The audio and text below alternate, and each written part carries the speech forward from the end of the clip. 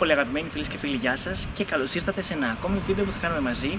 Σήμερα, βέβαια, δεν θα κάνουμε unboxing. Σήμερα θα κάνουμε μόνο το review από τη σκούπα που είχα πάρει τις προάλλες της ε, Blitzwolf και επέλεξα να κάνουμε και έτσι λίγο εξωτερικά γυρίσματα σήμερα γιατί είναι και η μέρα αρκετά ωραία και εδώ πέρα φυσικά και ένα ελαφρύ αεράκι, ελπίζω να με ακούτε κανονικά.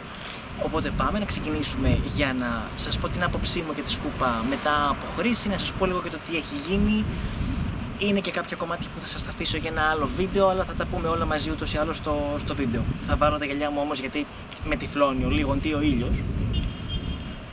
Νομίζω τώρα σας βλέπω καλύτερα και μπορούμε να συνεχίσουμε. Πάμε λοιπόν να ξεκινήσουμε με τη σκούπα. Όσον αφορά το κομμάτι το συγκεκριμένο, να πω λίγο και πάλι ότι η σκούπα, τα βασικά της χαρακτηριστικά είναι ότι έχει 2000 PA που είναι η δύναμη με την οποία ρουφάει και από εκεί και πέρα μπορεί να σκουπίσει και να σφουγγαρίσει. Η συσκευασία μέσα όπως είχαμε δει περιλαμβάνει και το πανάκι για το σφουγγάρισμα έχει δύο βουρτσάκια μπροστά που τραβάνε την, ε, τη σκούπα από τα πλαϊνά και τη φέρνουν στο κέντρο και από κάτω έχει την κεντρική τη βούρτσα που ρουφάει και αυτό μπαίνει μετά μέσα στον κάδο. Αυτά είναι τα, τα στοιχεία τα βασικά βασικά να το πω έτσι. Τώρα από εκεί και πέρα η σκούπα σαν σκούπα στο δικό μου το σπίτι, όταν λέω στο δικό μου το σπίτι μιλάμε, το σπίτι σαν σπίτι είναι γύρω στα 50 τετραγωνικά. Η σκούπα βέβαια επειδή δεν πάει παντού ούτως ή άλλως λόγω του ότι έχω τα πράγματα μέσα, νομίζω σκουπίζει γύρω στα 29 με 30 τετραγωνικά. Αυτό μου το κάνει περίπου ένα μισάωρο. Μέσα στο μισάωρο σαφώς δεν προλαβαίνει να τελειώσει η μπαταρία, άρα δεν έχουμε θέμα στο συγκεκριμένο. Μπορεί να δουλέψει κανονικά, δουλεύει κανονικά, τα, τα καταφέρνει κανονικότατα και περισσεύει και η μπαταρία, να το πω έτσι, για να γυρίσει πίσω και να επανέλθει φορτίζοντας. Τώρα, από εκεί και πέρα, εγώ την βάζω και την έβαζα βασικά και σκουπίζει και θα σας πω για ποιο λόγο την έβαζα. Την έβαζα και σκουπίζει και σκούπιζε κάθε μέρα. Ε, γιατί είπα ότι από τη στιγμή που δεν σκουπίζω εγώ και από τη στιγμή που το κάνει το ρομπότ από μόνο του, δεν με πειράζει να σκουπίζει κάθε μέρα, δεν θα πάθω και τίποτα στην τελική. Άρα σκουπίζει κάθε μέρα. Αυτό στο δικό μου το μυαλό και στα δικά μου τα μάτια, για να σου πω την αλήθεια, είχε θεαματικά αποτελέσματα. Δηλαδή, το σπίτι μου ήταν μόνιμα καθαρό, αλλά ήταν πολύ καθαρό. Και το τονίζω με αυτή τη λογική, γιατί είχα δει ένα βίντεο από έναν Γάλλο, ο οποίος συνέκρινε αυτή τη σκούπα μαζί με μια σκούπα της Xiaomi και καλά έδειξε ότι δεν καθαρίζει ε, τόσο καλά. Δεν είναι αυτή η άποψή μου, γιατί, γιατί η σκούπα για κάποιο λόγο καθαρίζει με ένα πολύ περίεργο μοτίβο, δηλαδή μπορεί να ξεκινήσει να καθαρίζει και να πάει προς μια συγκεκριμένη να το πω κατεύθυνση, ξαφνικά θα αποφασίσει να αλλάξει, να πάει κάπου αλλά μετά θα επανέλθει εκεί που σταμάτησε πριν και θα συνεχίσει το υπόλοιπο κομμάτι. Δηλαδή δεν θα το αφήσει έτσι, απλά σε εκείνο το βίντεο φαινόταν, επειδή το άφησε και έκανε τρεις ε, σβούρες να το πω έτσι και δεν είχε κάνει όλο τον κύκλο του σκουπίσματος, φαινόταν ότι άφησε βρωμιά. Η δικιά μου η άποψη και η δικιά μου λογική είναι ότι δεν αφήνει βρωμιά. Από εκεί και πέρα χρησιμοποίησα και το σφουγγάρισμα για να μπορώ να έχω και από αυτό μια άποψη. Εντάξει, δεν θα σας πω ότι το σφουγγάρισμα είναι σφουγγάρισμα σαν αυτό που κάνουμε εμείς ε, που σφουγγαρίζουμε με τη σφουγγαρίστρα και βλέπουμε τα πάντα. Σίγουρα όμως στη φάση που καθαρίζει καθημερινά και σκουπίζει καθημερινά και σκουπίζει καθημερινά, το να βάλετε να σφουγγαρίσει δεν θα δημιουργήσει πρόβλημα γιατί ουσιαστικά απλά καθαρίζει αυτό που δεν παίρνει η σκούπα. Γενικότερα εγώ είμαι πάρα πολύ ευχαριστημένος με την συγκεκριμένη και όσον αφορά το κόστος στο οποίο την απέκτησα γιατί 230 ευρώ αν σκεφτείτε ότι όλες οι υπόλοιπες κάνουν 350, 400, 500, 600 ήταν πάρα πολύ καλά. Ε, τώρα, με βλέπετε λίγο σφιγμένο. Τι έχει γίνει. Αυτή τη σκούπα κατάφερα και τη χρησιμοποίησα για 10 μέρες τη δέκατη μέρα έχει συμβεί το εξής. Η σκούπα σταμάτησε να φορτίζει. Από εκεί που ήταν φορτισμένη στο 100% ξαφνικά επειδή τελείωσε η μπαταρία της έπεσε στο 1% και δεν έχει ξαναφορτίσει πάνω από το 3%. Με αποτέλεσμα και να μην λειτουργεί και να μην μπορείς να κάνεις οτιδήποτε, αλλά ξαφνικά ανάμεσα σε αυτά τα στοιχεία, δηλαδή το ότι ξαφνικά σταμάτησε να φορτίζει. Ενώ φαίνεται ότι ξεκινάει να φορτίζει, δεν ανεβαίνει πάνω από το 1, 2, 3%. Σταμάτησαν να λειτουργούν και οι αισθητήρες που αναγνωρίζουν το ότι η σκούπα πάει να πέσει, να φύγει από τη σκάλα. Δηλαδή αυτά που η Blitzwolf χαρακτηρίζει σαν cliff sensors. Ε, έχει τέσσερις, δύο στο πλάι, λίγο πιο πάνω από το πλάι και δύο μπροστά που είναι, το λέω και πάλι, αυτοί που αναγνωρίζουν ότι η σκούπα πάει να πέσει. Τώρα, από εκεί και πέρα, έχει γίνει το εξής και μετά θα μπω και στην εφαρμογή. Έχω αρχίσει να επικοινωνώ αρχικά με την Banggood που είναι η εταιρεία, η σελίδα η γνωστή η κινέζικη από την οποία πήρα τη σκούπα. Δεν έχουμε ακόμα καταλήξει κάπου, οπότε δεν θα το σχολιάσω το συγκεκριμένο και έπειτα έχω αρχίσει να μιλάω και με την Blitzwolf για να δω αυτοί τι θα μπορέσουν να μου πούνε και τι πρέπει να μου πούνε και τι πρέπει να κάνω. Και με αυτούς δεν έχω καταλήξει. Αυτό είναι το δεύτερο βίντεο, το δεύτερο μέρος που είπα εξ αρχής ότι θα, θα σχολιάσω σε, σε δεύτερο χρόνο γιατί θέλω να δω ακριβώς τι θα μου πούνε. Είμαστε ήδη, για να καταλάβετε, με την Banggood στα 21-22 email τις τελευταίες 10-15 μέρες και με την Blitzwolf πρέπει να έχω στείλει γύρω στα 10-15 και προσπαθώ να βγάλω άκρη. Αλλά το τονίζω και πάλι αυτό θα το δούμε σε δεύτερο χρόνο. Σε γενικές γραμμές, εσείς κρατήστε ότι για τις 10 μέρες που η σκούπα δούλευε, εγώ είμαι πάρα πολύ ευχαριστημένος. Τα αποτελέσματα ήταν πολύ ευχάριστα για εμένα και ενθαρρυντικά για εμένα. Σίγουρα, εάν δεν μου βγάζει το πρόβλημα το συγκεκριμένο, θα σας τη συνέστηνα και λόγω κόστους, το τονίζω, κατά 100% για να την πάρετε. Βέβαια, να πω και το εξής, όσον αφορά τα ηλεκτρικά και τα ηλεκτρονικά. Σε αυτό το κομμάτι πάντα είμαι πολύ τυχερός, γιατί ξέρω κάποιους ανθρώπους οι οποίοι με το που πάρουν κάτι, για κάποιο λόγο αυτό το κάτι θα χαλάσει. Εμένα η σκούπα η συγκεκριμένη, το συγκεκριμένο ηλεκτρικό ηλεκτρονικό προϊόν είναι το πρώτο προϊόν το οποίο χάλασε. Δεν μου έχει χαλάσει κάποιο άλλο. Άρα δεν μπορώ να σας πω ότι είμαι και δυσαρεστημένος για τον λόγο αυτό που σας ενέφερα. Γιατί δούλεψε και 10 μέρες, τις 10 μέρες που δούλευε, δούλευε άψογα, Τώρα μπορεί να είναι και θέμα της μπαταρίας. Θα το μάθω και με την επικοινωνία. Θα δούμε, θα δούμε πώς θα πάει. Πάμε όμως λίγο να περάσουμε και στην εφαρμογή, γιατί η εφαρμογή, καλό ή κακό, σε αυτές τις κούπες είναι ένα πάρα πολύ σημαντικό κομμάτι και στοιχείο όλης της λειτουργίας. Οπότε πάμε να περάσουμε. Έχω τραβήξει σε βίντεο από την πρώτη στιγμή που άνοιξα την εφαρμογή και της σκούπα για να τη συνδέσω. Άρα θα το δούμε όλο μαζί. Όταν ανοίγουμε την εφαρμογή, βλέπουμε αρχικά την εικόνα της Blitzwolf, πάει αρχικά, μας ζητάει να ενεργοποιήσουμε το Bluetooth. Αφού επιλέξουμε να ενεργοποιήσουμε το Bluetooth, μας προχωράει στο επόμενο βήμα. Επόμενο βήμα για το συγκεκριμένο είναι να ανοίξουμε τη σκούπα, να την συνδέσουμε με το δίκτυο. Όταν λέω δίκτυο, εννοώ το δίκτυο το Wi-Fi για να μπορέσει να τη διαβάσει η εφαρμογή σαφώς και να μπορούμε να παίρνουμε τις ε, πληροφορίες που χρειάζεται.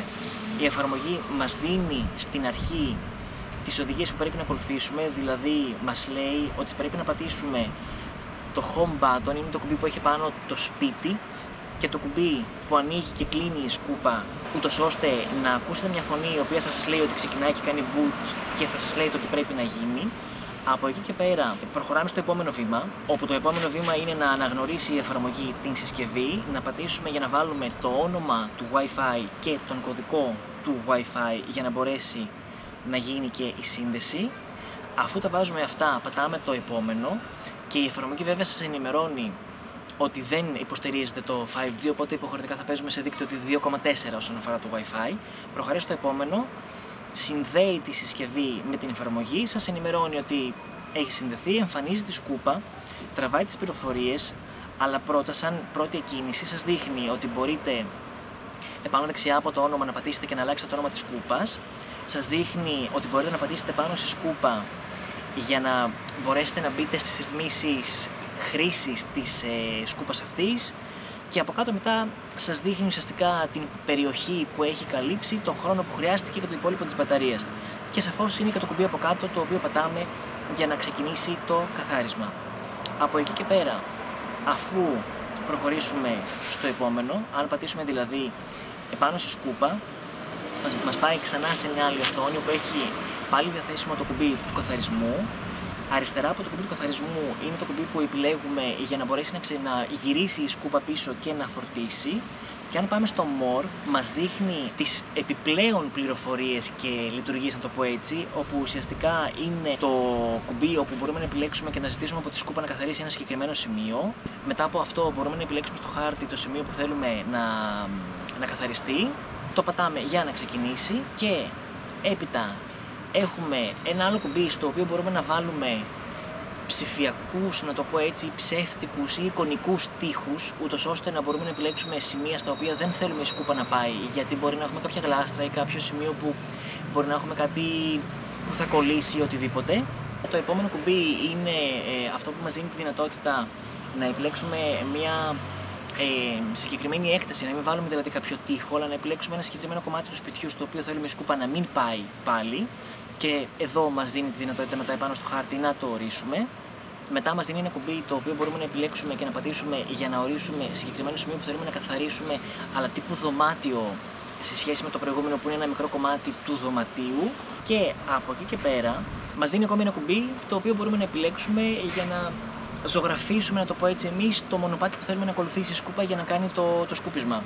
Μετά το more, που ήταν αυτές οι επιλογές που σας είπα, στην ε, αρχική οθόνη, να το πω έτσι, μας δίνει τη δυνατότητα να επιλέξουμε την ένταση με την οποία θέλουμε να σκουπίζει η σκούπα, γιατί έχει τρεις διαφορετικές ε, μεθόδους, να το πω έτσι, καθαρισμού. Είναι το medium, το, το super δυνατό και το κανονικό και έχει ακόμη μία που είναι και καλά για βράδυ, που είναι πολύ, πολύ πιο ήρεμη και έχει ακόμη μια επιλογή, ένα άλλο κουμπί, στο οποίο πατάμε και επιλέγουμε τη διαδρομή που θα ακολουθήσει με την έννοια όχι να ζωγραφίσουμε.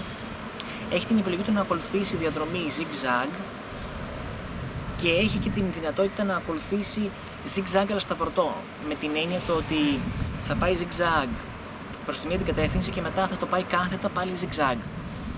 Είναι αυτό το κομμάτι, η εφαρμογή είναι πάρα πολύ απλή και αντίστοιχα μας δείχνει στην οθόνη και το που βρίσκεται η σκούπα και το που βρίσκεται το σημείο της φόρτισης, ο φορτιστής δηλαδή της σκούπας και μας δείχνει και τη διαδρομή που έχει ακολουθήσει μέχρι στιγμής.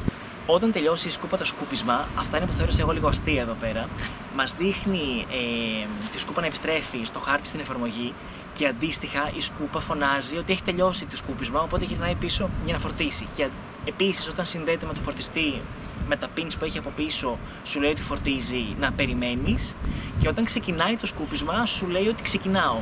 Αυτά βέβαια στα αγγλικά ή στα κινέζικα, δεν έχει επιλογές για ελληνικά, αλλά εμένα μου φάνηκε πάρα πολύ αστείο εκείνη την ώρα. Αυτό που πρέπει να επισημάνω όμως είναι το εξής. Η σκούπα, και το λέω με αυτό το, τον τρόπο, μπορεί και καλά να ξεπεράσει εμπόδια μέχρι 1,5 εκατοστό. Βέβαια, υπάρχει μια μικρή πιθανότητα κάποια που μπορεί να είναι λίγο μεγαλύτερα από 1,5 εκατοστό να βλέπει ότι μπορεί να τα, να τα περάσει. Αυτά θα πάει να τα περάσει, αλλά την ώρα που θα πάει να τα περάσει θα κολλήσει. Σε εκείνο το σημείο η σκούπα θα είναι κάπως έτσι, γιατί θα έχει κολλήσει και η μπροστά της πλευρά θα είναι στον αέρα. Θα το καταλάβει από μόνη της και θα γυρίσει πίσω. Θα ξαναπροσπαθήσει βέβαια, θα ξαναπροσπαθήσει και θα ξαναπροσπαθήσει. Δεν θα καταφέρει να το περάσει, οπότε θα καταλάβει τι γίνεται και θα πάει από γύρω μετά. Ένα άλλο που έχω παρατηρήσει είναι το εξής. Έχω ένα πολύ μικρό τραπεζάκι από την IKEA. Ε, αυτά που είναι το ξύλο το τόσο με τα πόδια που πάνε έτσι και μπορείς να το πάρεις και να το βάλεις πάνω από τον καναπέ το ξύλο και τα ποδαράκια είναι ένα από κάτω από τον καναπέ οπότε το τραβάς πιο κοντά σου αυτό είναι κάπου τόσο και η σκούπα όταν μπήκε μπήκε από πάνω γιατί νόμιζε ότι μπορεί να περάσει ανέβηκε αλλά μετά δεν μπορούσε ούτε να κατεβεί ούτε να κάνει οτιδήποτε γιατί δεν μπορούσε και να γυρίσει Δηλαδή σε αυτά τα σημεία θα δώσετε λίγο προσοχή σε περίπτωση που την πάρετε. Φαντάζομαι το ίδιο ισχύει και με τα υπόλοιπα βέβαια. Σε γενικές γραμμές και για να το τελειώνω αυτό το κομμάτι με την σκούπα, είμαι πολύ θετικά προσκύμενος για να το πω έτσι προς αυτήν. Αν δεν συνέβαινε το πρόβλημα, θα ήμουν ενθουσιασμένος. Θεωρώ ότι η δουλειά που κάνει είναι πάρα πολύ καλή για τα λεφτά της. Θα σας έλεγα ότι τη συστήνω για αγορά αλλά να έχετε στο νου σας ότι εμένα μου έβγαλε αυτά τα δύο προβλήματα που σας είπα με την μπαταρία και με τους αισθητήρες πτώσης. Δεν ξέρω. Δεν ξέρω, πραγματικά δεν ξέρω. Αγοράζετε με προσοχή εδώ πέρα. Βέβαια, το τονίζω ότι αυτά τα προϊόντα μπορούν ανα πάσα στιγμή να βάλουν κάποιον σε μπελά και να σε βάλουν σε μπελά χωρίς να, να γίνει και επίτηδες, με την έννοια ότι μπορεί να χαλάσουν που δεν μπορεί να τον προεξοφλήσει κανείς αν την αγοράσετε, αν την έχετε αγοράσει, αν θέλετε να, να σας πω κάτι από το διάστημα που την έχω χρησιμοποιήσει και, και έχω εικόνα και άποψη, σαφώς μου το γράφετε στα σχόλια. Εσείς μην ξεχάσετε να με ακολουθήσετε στο κανάλι στο YouTube και αν θέλετε μπορείτε να με ακολουθήσετε και στο προφίλ στο Instagram για να βλέπετε ταξίδια, διαδρομές, βόλτες, οτιδήποτε. Θα τα ξαναπούμε στο επόμενο βίντεο. Θα κάνω και το άλλο το βίντεο που σας είπα να τελειώσω λίγο βασικά πρώτα με την επικοινωνία που έχω με την Banggood και με την Blitzwolf. Να προσέχετε, καλή συνέχεια, μείνετε ασφαλείς Μείνετε σπίτι, μείνετε έξω, φορέστε μάσκα, δεν ξέρω τι θα κάνετε, αλλά σε κάθε περίπτωση να προσέχετε και θα τα ξαναπούμε στο επόμενο βίντεο. Γεια σας!